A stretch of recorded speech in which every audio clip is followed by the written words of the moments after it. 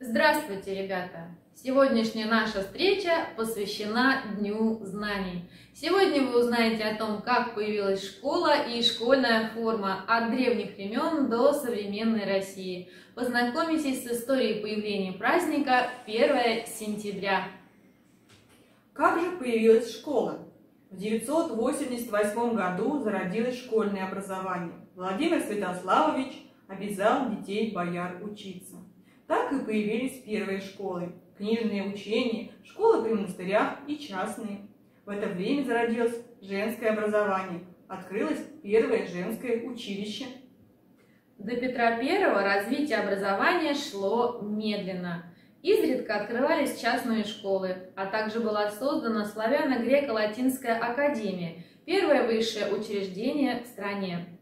Для знатных мальчиков 8-12 лет открывались училища – где обучение строилось по особым сборникам школьных программ азбуковникам. Сначала изучались письменность, затем уроки становились более разнообразными. В этих учебных заведениях изучали семь свободных художеств – грамматику, диалектику, риторику, церковное пение, землемерение, географию, звездознание. Значительные изменения в обучении произошли при Петре I. Он провел реформу образования, которая коснулась многих аспектов развития школ в России.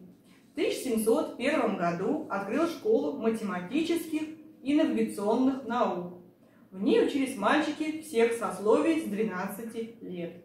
После освоения программы дети бедных родителей шли служить, а дети бояр поступали в верхнюю школу. Такие юноши учили немецкий язык, географию и навигацию. В 1714 году появились цифирные школы. Ученики углубленно изучали математику и геометрию. К 1723 году в стране было порядка 42 таких школ. В 1724 году Петр I учредил Академию наук, но открылась она год спустя, уже после его смерти. Академия состояла из гимназии и университета. В гимназии дети учились 7 лет изучали латынь, немецкий, французский языки, историю и географию. До Екатерины II фактически учиться могли только юноши. В 1764 году право получить образование дали и девушкам. Императрица открыла Смольный институт – воспитательное общество благородных девиц, с 6-9 лет девочек обучали математике, иностранным языкам, творчеству. В 9-12 лет в программу входило изучение истории и географии. В 12 лет девушки читали познавательную литературу, практиковались в ведении хозяйства, постигали азы физики, архитектуры и скульптуры – 15-18 лет ученицы завершали обучение и повторяли все предметы углубленно, изучали закон Божий. Важный шаг к улучшению образования произошел в 1802 году. Александр I создал Министерство народного просвещения, которое определило дальнейшую историю развития образования в России. Устав министерства предусматривал следующие учебные заведения. Приходские училища для бедного населения. Обучение длилось один год. Ученики с 6 лет изучали чтение, религию и письменность. Проходили подготовку к поступлению в уездные училища. Уездные училища принимали мальчиков 7-8 лет.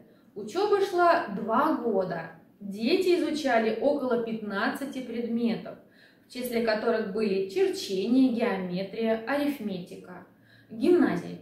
В них могли учиться только дети дворян для подготовки к службе или поступлению в университет. Обучение было насыщенным. Философия, экономика, математика, этика и многое другое. В гимназиях были не только учителя, но и контролеры, следившие за поведением. Всего в стране было пять гимназий. Университеты считались привилегированными учебными заведениями и функционируют только в Москве и Санкт-Петербурге. Еще одно знаменательное событие в истории системы образования – открытие Императорского царско-сельского лицея в октябре 1811 года. Там обучался Александр Сергеевич Пушкин и другие знаменитые люди того времени.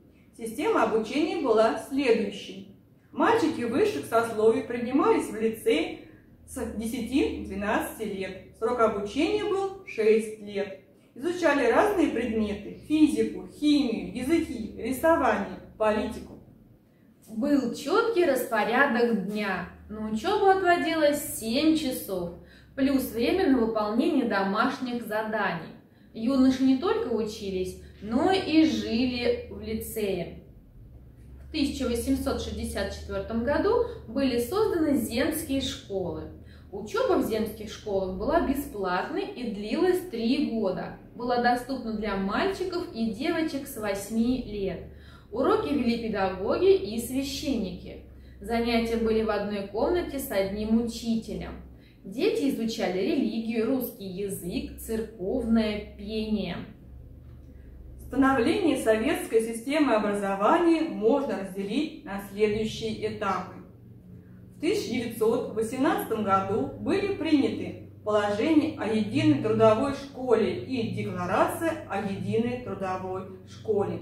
Введен запрет на религиозные учения. Школа стала двухступенчатой. На первой ступени обучали детей с 8 до 13 лет, на второй с 14 до 17 лет открылись бесплатные трудовые школы, где изучали письмо, чтение, математику, но уклон был на труд. В 1930-х годах введено обязательное начальное образование. В годы войны образование пережило сильный кризис. Не хватало учителей, учебной литературы, ученики работали на заводах. В 1930-х годах введено обязательное начальное образование. В годы войны образование пережило сильный кризис. Не хватало учителей, учебной литературы, ученики работали на заводах. В 1958 году началась школьная реформа. Обучение стало десятилетним, а получение среднего образования обязательным. 1980 года дети стали обучаться 11 классов. Введена система поощрения в виде медалей. Так что же мы знаем об истории создания школьной формы? У школьной формы в России богатая история. До 1917 года она была сословным признаком, так как позволить себе обучение в гимназии могли только дети богатых родителей. Точная дата введения школьной формы в России – 1834 год. Именно в этом году произошло принятие закона, утвердившего отдельный вид гражданских мундиров. К ним относились гимназические и студенческие мундиры. Введение форменной одежды для учащихся учебных заведений в России связано в первую очередь с тем, что эти учреждения были государственными те времена все государственные служащие должны были носить форменную одежду, соответствующую их чину и званию. Так все педагоги в государственных учебных заведениях носили форменные сюртуки. Исходя из этого было естественным введение и для учащихся форменных костюмов. Костюм гимназиста отличал подростка от тех детей, которые не учились или не могли позволить себе учиться. Форма гимназистов была сословным признаком, потому что учились в гимназиях только дети дворян, интеллигенции и крупных промышленников. Формы носили не только в гимназии, но и на улице, дома, во время торжеств и праздников. Она была предметом гордости. Во всех учебных заведениях форма была военного фасона. Неизменно фуражки, гимнастерки и шинели, которые отличались только цветом, кантами, пуговицами и эмблемами. Фуражки обычно были светло-синими, с тремя белыми кантами и с черным козырьком. Причем особым шиком среди мальчишек считалась мятая фуражка с поломанным козырьком. Зимой к ней добавлялись наушники и капюшон цвета натуральной верблюжьей шерсти, отделанный серой тесьмой. Обычно ученики носили суконную гимнастерку синего цвета с серебряными выпуклыми пуговицами, подпоясанную черным лакированным ремнем, серебряной пряжкой, черные брюки без канта. Имелась и выходная форма, темно-синий или темно-серый однобортный мундир с обшитым серебряным головным воротником. Неизменным атрибутом гимназистов был ранец. И с этого времени до 1917 года фасон формы менялся несколько раз, согласно веяниям моды. Но все это время форма мальчиков колебалась на грани штатского военного костюма. В то же время началось развитие и женского образования, поэтому потребовалась ученическая форма для девочек. Она была утверждена на целых 60 лет позже формы для мальчиков. В результате появился первый наряд для учениц.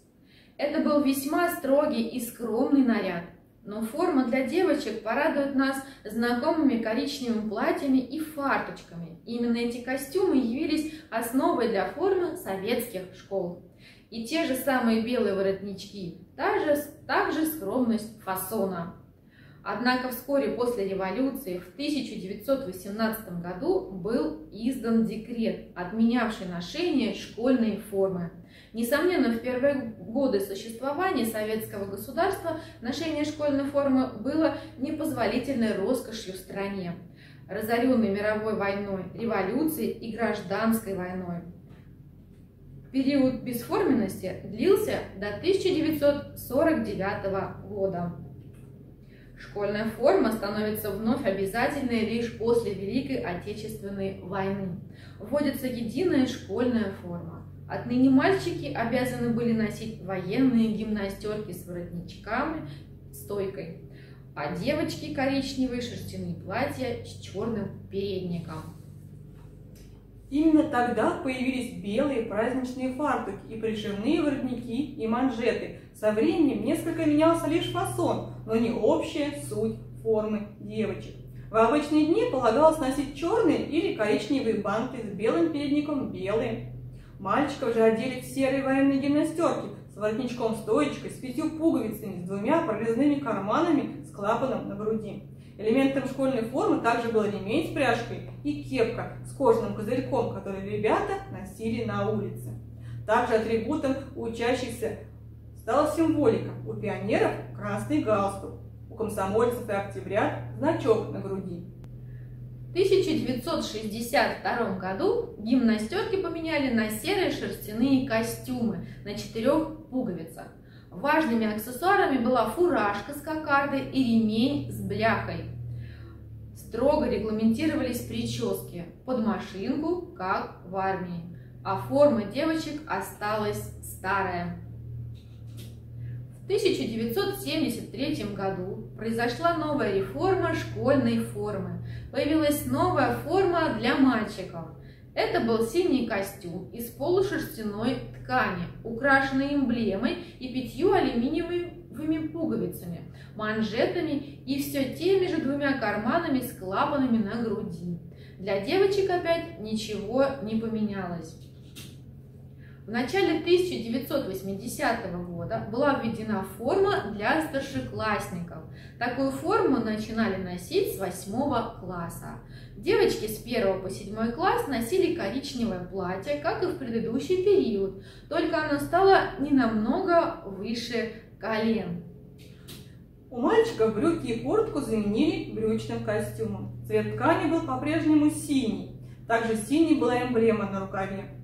Для девочек в 1984 году был введен костюм «тройка» синего цвета, состоявший из юбки трапеты со складками спереди, пиджака с накладными карманами и жилетки. Юбку можно было носить либо с пиджаком, либо с жилетом, либо весь костюм сразу. Обязательным дополнением к школьной форме, в зависимости от возраста ученика, были октябрятские в начальных классах, пионерские в средних классах или комсомольские в старших классах значки. Пионеры должны были обязательно носить пионерский галстук. С 1 сентября 1991 года ношение пионерских галстуков и комсомольских значков повсеместно прекратилось. Фактически обязательное ношение школьной формы прекратилось в том же году. Но очень многое зависело от того, где располагалась школа – сельской местности или городе, и какой это был город, крупный или небольшой, ну и, конечно, от самих учителей. Законодательно обязательное ношение школьной формы было отменено только в 1994 году, но по факту с 1992 года школьную форму практически никто не носил, так как именно в это время были ликвидированы по всей стране предприятия, которые ее производили. С 1 сентября 2013 года введен новый закон, благодаря которому школы могут самостоятельно устанавливать требования к одежде учащихся, но при этом им рекомендуется соблюдать определенные критерии, предъявляемые к внешнему виду формы. Хотите верьте, хотите нет, но в нашей стране не было единой даты начала учебного года. В разных учебных заведениях за парты садились в разное время. Например, в сельской местности могли приступить к учебе только поздней осенью. А то и вообще в класс приходили с 1 декабря, когда на полях все было убрано, запасы на зиму были сделаны, оставалось только учиться, учиться и еще раз учиться. В городах гимназистов собирали уже в середине августа. Так продолжалось до 1935 года, когда Народный комитет СССР принял решение о единой дате начала учебы во всех учебных заведениях. Советская власть за начало учебного года приняла 1 сентября, а заодно определила, сколько должен продолжаться учебный год, когда можно было отправиться на каникулы. Возникает вопрос, а почему 1 сентября? 1 сентября для нас теперешних начало нового учебного года. А для жителей Допетровской Руси это была дата начала Нового года. И только когда Петр Великий принял решение о переводе новогодних торжеств на 1 января, решили, что в начало осени можно начинать учебу. Советском Союзе всегда любили праздники, и 1 сентября стал одним из самых любимых. 1 сентября начинали с открытой праздничной линейки, где главными действующими лицами становились первоклассники, открывающие новую страницу своей жизни, школьную.